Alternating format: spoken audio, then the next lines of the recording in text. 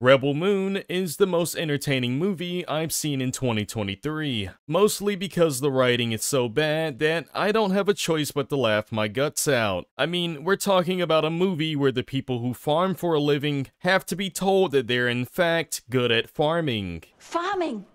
That is our skill. That we can do. And when the evil empire comes knocking on their door with armed soldiers and a flying dreadnought capable of destroying entire cities, our heroic main character sets out to recruit Tarzan. the town drunk, or me in 20 years from now